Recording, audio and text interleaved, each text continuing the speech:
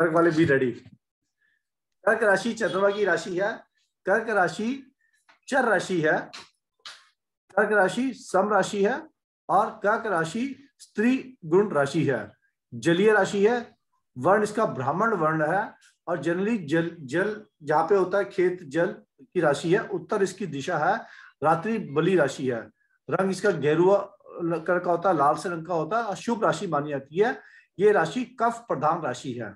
इसका इस राशि का जो पार्ट बॉडी पार्ट होते हैं हमने कल दिल, छाती, फेफड़े, पेट और ऊपरी हिस्सा, इसका जो चिन्ह होता है, केकड़ा इसका चिन्ह होता है। तो इसमें तीन चार चीज़ें पकड़े चलना। चर राशि है ये, चर राशि एक बार, ये राशि कफ प्रवृत्ति की राशि है, ठीक है? और स्त्री इसके गुण है, सौम्य राशि है। कर्क राशि के जातकों का शरीर थोड़ा हल्का भारी होता है, पंजे इनके चौड़े होते हैं, और शरीर का ऊपरी भाग बहुत बड़ा जनरली फैला हुआ होता है।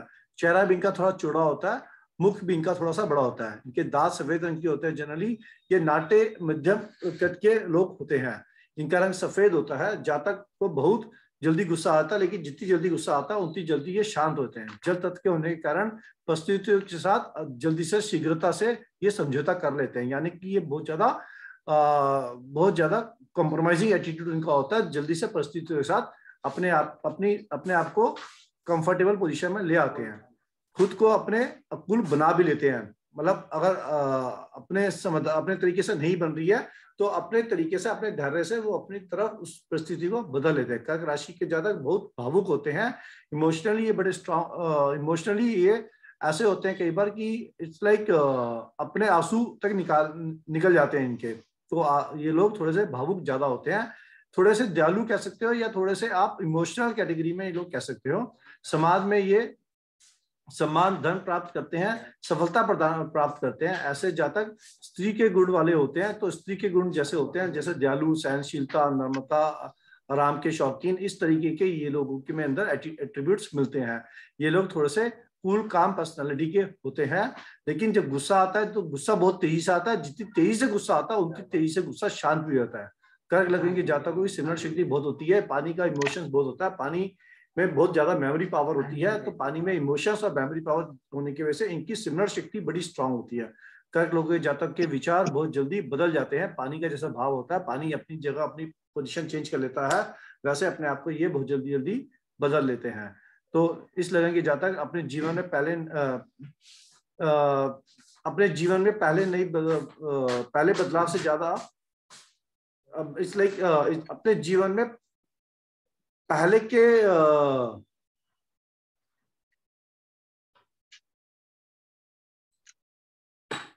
अपने जीवन के पहले पार्ट में ज़्यादा उन्नति नहीं करते। ये लोग अपने जीवन के दूसरे पार्ट में ज़्यादा उन्नति करते हैं।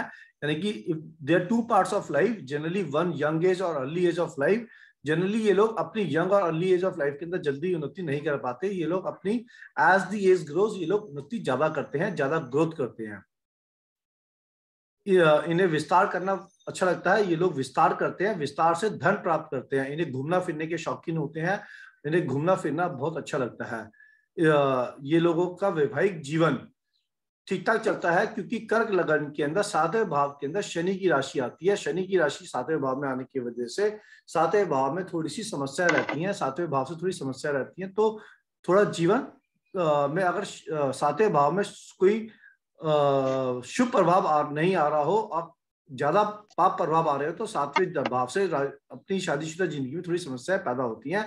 यहीं पे अगर इनके सातवें भाव में शुभ प्रभाव आ जाता है तो इनके सातवें भाव से उत्पन्न हुई शनि की वजह से उत्पन्न हुई समस्या थोड़ी दब जाती है तो इनका जीवन ठीक ठाक चलने लगता है। निर्णय लेने में काफ़ी समय लगाते हैं, क्योंकि पानी जल तत्व की राशि है, जल तत्व की राशि में निर्णय लेने में समय ज़्यादा लगता है। जल्दी से किसी बात के ऊपर निर्णय नहीं ला पाते, अपने बात को मन में रखते हैं और अपनी बात को जल्दी से व्यक्त भी नहीं कर पाते, उसमें भी इनको समय लगता है। ऐसे जातकों, माँ का, माँ के प्रति स्नेह बहुत होता है माँ का स्नेह भी बहुत प्राप्त होता है कर्क लगन के जातकों को। कर्क लगन के जातक, किसी की आवाज़ आ रही है बीच से, प्लीज़ अपना माइक बंद करें। कर्क लगन के जातक सरकारी नौकरी, समुद्र, पानी से रिलेटेड चीज़ों से संबंधित चीज़ों में जनरली अपने आप को अपने व्यवसाय को करते हैं। और ऐसे लोगों के साथ पानी से रिलेटेड संबंधित चीज़ें हमेशा लाइफ में जुड़ी रहती हैं।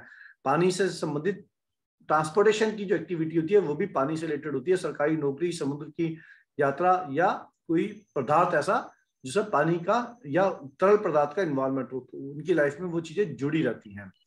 धैर्य की कमी, इनमें थोड़ी धैर्य की कमी होती है जातक आमतौर पर शांति प्रिय होते हैं बट धैर्य की थोड़ी कमी होती है। जा ऐसे जातकों का गला थोड़ा सा गबड़ा रहता है, जल्दी से क्योंकि कफ प्रधान राशि है तो ऐसे लोगों को कफ की समस्या जल्दी जल्दी पैदा हो जाती है तो कफ की वजह से गले के अंदर खराबी मतलब समस्या आ जाती है। कफ कर्क लगन के लोग कर्क लगन के लोग आमतौर पर सुखदायक जीवन को पसंद आनंद करते हैं सुख सुखी जीवन को व्यतीत करना पसंद करते हैं कर्क लगन के लोग घर पे या अपने घर से जुड़ के अपने घर के प्रति डिवोटेड होते हैं अपनी माँ के प्रति अपनी फैमिली के प्रति डिवोटेड होते हैं और वहीं से इनको सुख प्राप्त करने की कोशिश रहती है इनको हमेशा इनको फीलिंग रहती है कि हम अपने घर पे रहें अपने घर से कनेक्टेड रहें और अपने घर के प्रति उदार रहें हाँ। और अपने घर सारंग का भी सुख रहता दोनों जल्दी पद्मा जी, अपना माइक को ऑफ़ करें प्लीज़